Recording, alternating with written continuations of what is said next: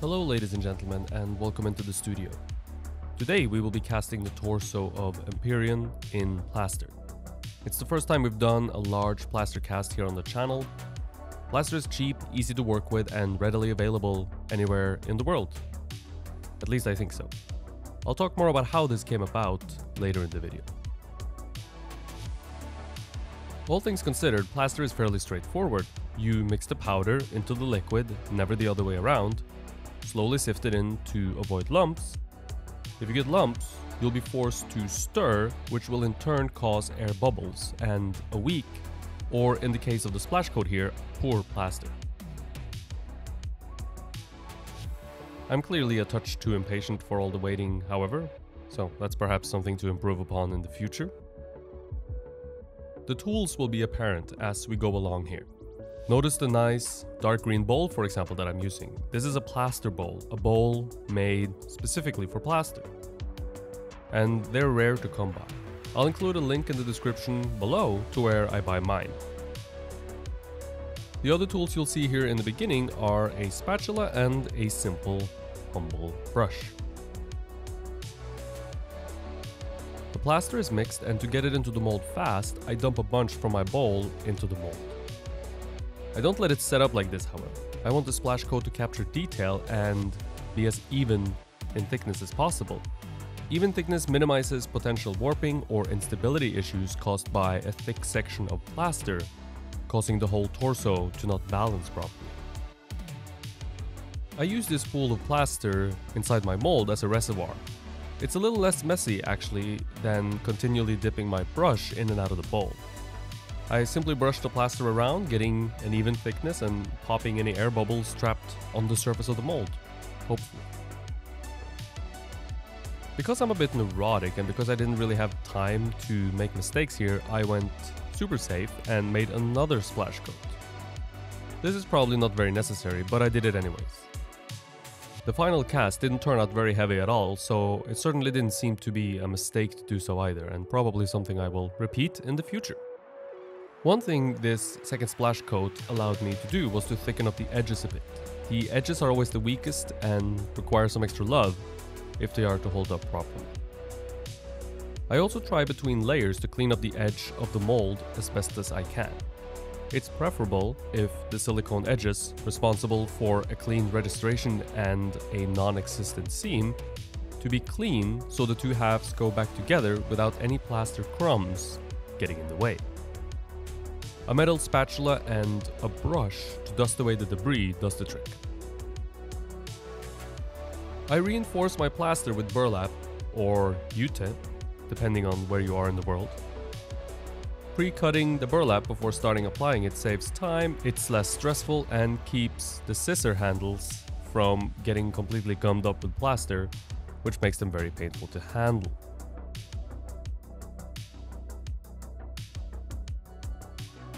More plaster is then mixed.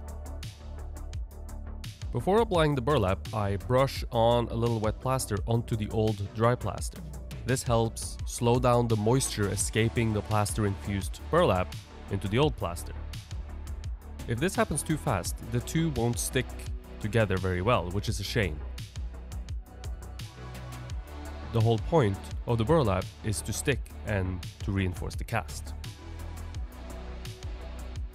Burlap is straightforward and easy to work with. I take one and dip it into the plaster, making sure it's soaked before squeezing most of the plaster back out again. It's not the plaster that makes the cast strong. Too much plaster makes the cast very heavy, but the plaster is needed for the burlap to stick. So remember the plaster is there for a reason. But don't use too much of it. If you don't use it at all, you'll have a cast filled with dry fabric, which is really of no use to anyone. I put the burlap down in the mold up to the edge of the silicone, but not over it perhaps a finger's thickness away from the edge just to be safe. Then I lightly tamp it down to make sure there's no air trapped between the burlap and the plaster splash coat. A light touch is required here as a heavy hand can break the splash coat.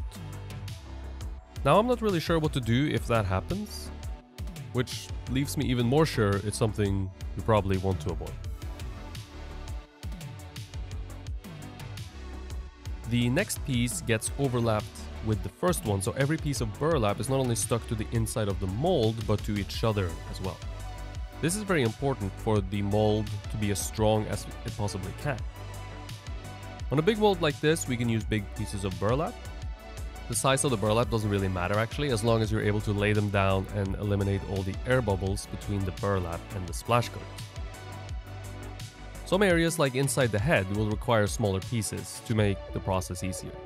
So it's a good idea to cut a few different sizes of burlap just to save yourself from having to, to cut while the plaster is setting up. This brings me to why I am making this cast. One of my former instructors at the Florence Academy of Art, Sanne van Tongeren, opened her own studio in her hometown Amsterdam in the Netherlands. I visited and helped her teach a few days last April, and because some of her students know me and she needed a casting of a torso for them to copy, she asked if she could use my torso. I mean, the torso I sculpted. And I was, of course, thrilled and said yes. It's always lovely when someone finds your work worthy, and the idea of spreading the work, my work, around the world is very enticing and satisfying. So thank you, Sanne. Without you, I certainly would not have made this cast or this video. I hope your students enjoy working from the torso. All things considered, burlap is very straightforward. It's the inside of the cast, so it doesn't have to be pretty, it just needs to work. Overlap every piece of burlap and make sure you stay a finger's width away from the edge of the mold.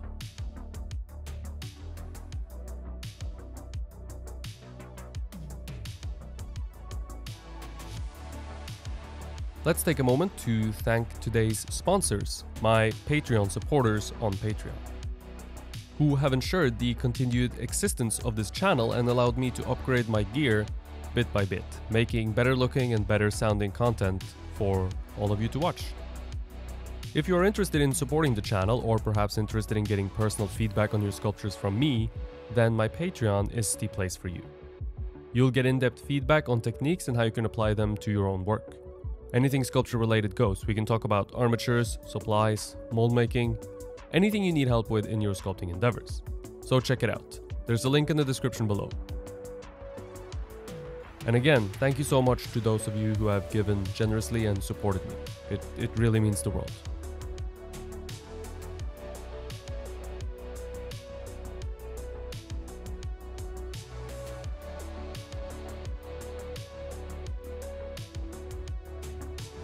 A second layer of burlap is applied in very much the same way to ensure proper strength and everlasting properties.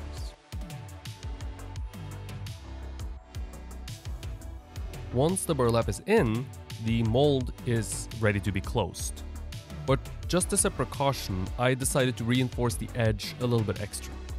There's no burlap on the edge, only splash coat, because if the burlap gets over the edge, it's a huge hassle to cut it down and, and rasp it down. The burlap kind of frays and, and it turns into a giant mess really, really fast. It's not like fiberglass, which is easy to, to cut and rasp down. Plaster, however, is easily shaped to rasp. Now if you can imagine when the two halves of the mold closes, I'll need to get my brush with plaster on it onto the edge to fill the seam. So a plaster edge coming 90 degrees out from the edge of my silicone is not desirable because I can't get my brush in there, right? Instead, I want something closer to a 45 degree angle away from the silicone edge. This ensures the edge is plenty strong and I'll be able to get my brush onto the seam once the mold is closed.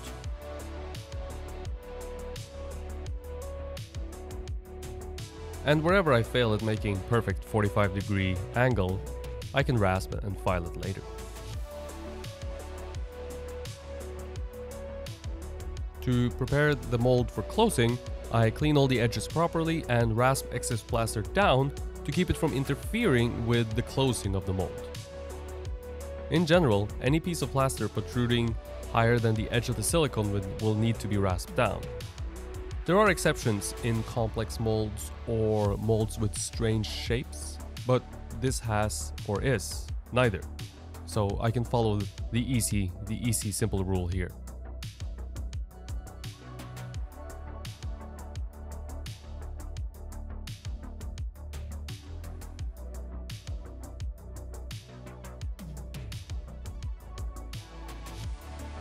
One important note about these open silicone edge molds. The silicone edge can be squeezed and deformed if you strap the bungee cords too tightly together. You want them to be tight of course, but not so tight that it deforms where the two halves of the mold meet. Now if you were doing a closed edge mold, if the edges of the mother mold were touching each other instead of the edges of the silicone touching each other, you wouldn't have to worry about this as the hard shell of the mother mold obviously can't be deformed. Well, I mean, it could, but it would break before it deforms. There are pros and cons to both methods. I prefer the open-edged mold seen here as it allows me to properly inspect and see if the silicone of the two halves of my mold have registered together properly. You cannot see this if the edges of the silicone is closed behind the mother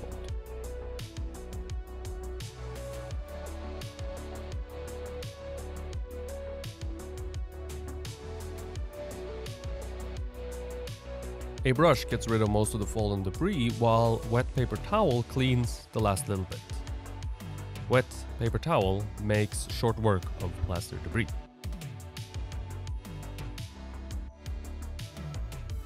I let the mold sit overnight so the plaster hardens up the maximum amount. Actually, it would take more than one day for the maximum amount of hardening, but one day is all I have and one day is enough.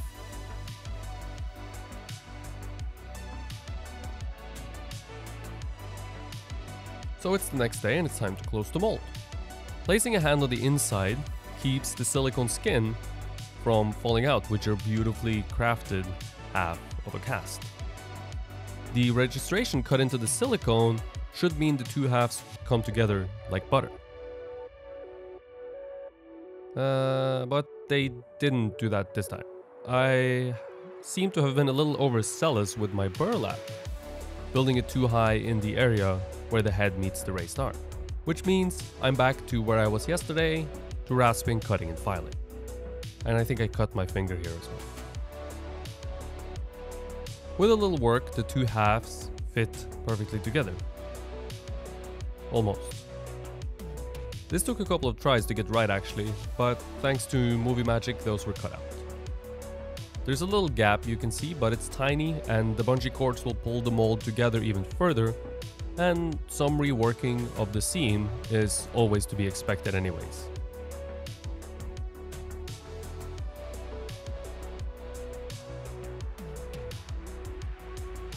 Now we have the two halves strapped together. We need now to connect the two halves of the cast on the inside. So they'll stay together forever, even when the mold is open. When plaster dries, it craves moisture. It's deprived of moisture. When the only moisture it gets is from wet, fresh plaster, it'll suck it out so quickly that the wet plaster will turn into powder almost instantly, doing very little good. So a good trick is to douse the dry plaster with water before applying fresh plaster. This cast is at this point in the video only one day old so just a little spray is enough, but you could potentially leave your plaster cast in a bucket for a few hours to make sure it's soaked. Fresh plaster is then brushed onto the seam, filling up those two 45 degree angles running along edges of both halves of the mold. As the plaster slowly sets and becomes thicker, kind of like cream cheese, I use it to fill the gap further to make it easier for the burlap to lay down inside the mold.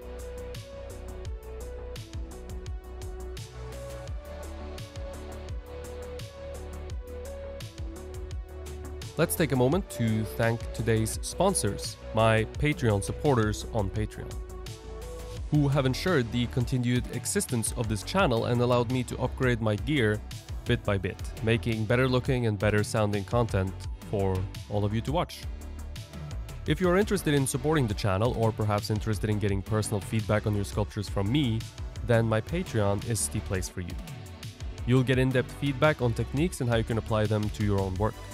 Anything sculpture related goes. We can talk about armatures, supplies, mold making, anything you need help with in your sculpting endeavors. So check it out. There's a link in the description below. And again, thank you so much to those of you who have given generously and supported me. It, it really means the world.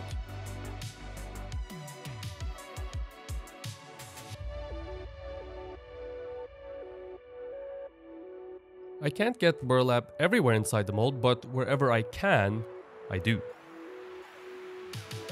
The burlap is what's gonna hold the two halves together, locking them together permanently.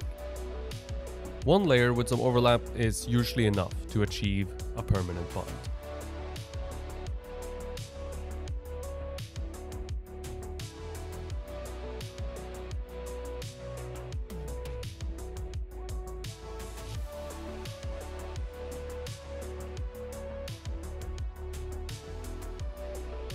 So it's time for the most exciting part of mold making, which is of course opening the mold. First off, off with the bungee cords. Then, off with the mother mold. As you can see, I have a piece of foam that I can lay the piece down on so it doesn't lay straight on the hard table. A pillow or something similar can also be used.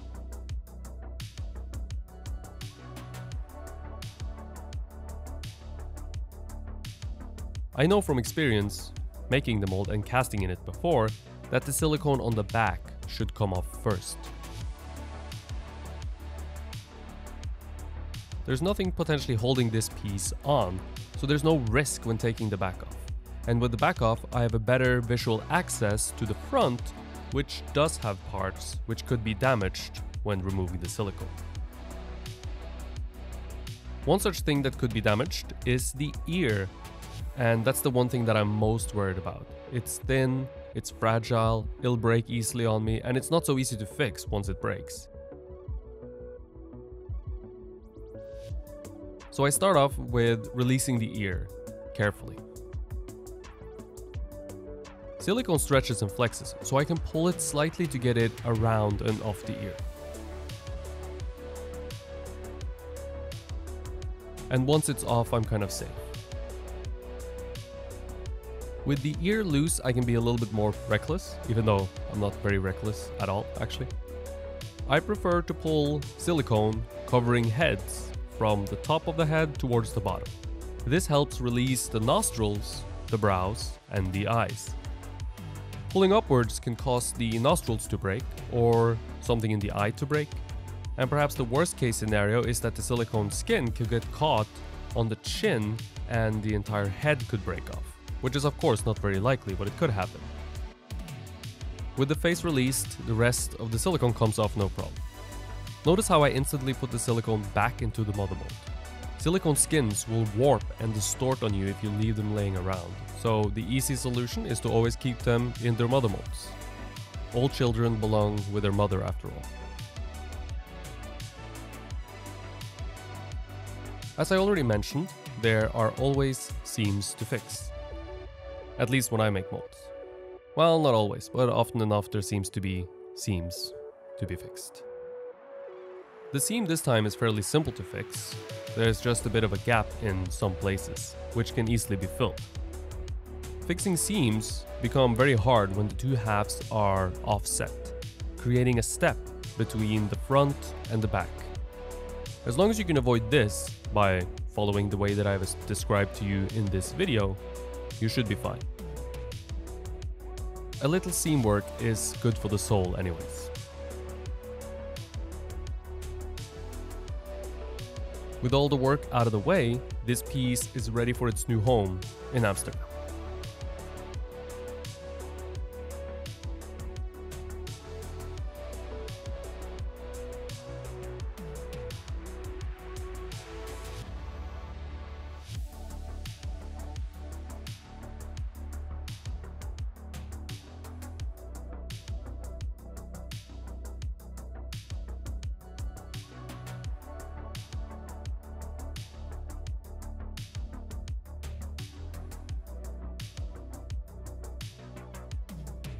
If you enjoyed the video and want to learn sculpture, check out my Patreon page.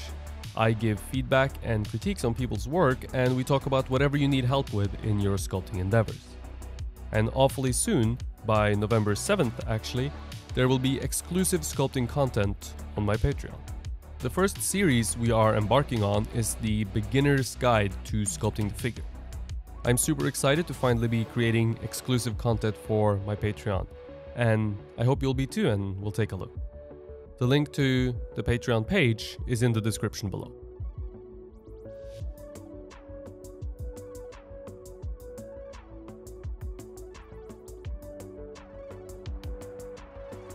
Thank you for watching and stay tuned for a new video next Thursday. Hit the subscribe button and the bell to be notified whenever a new video comes out. If you enjoyed the video, click the like button and share with your friends and family. It helps me out a lot. Thank you for watching, stay creative, and I hope to see you in the next one.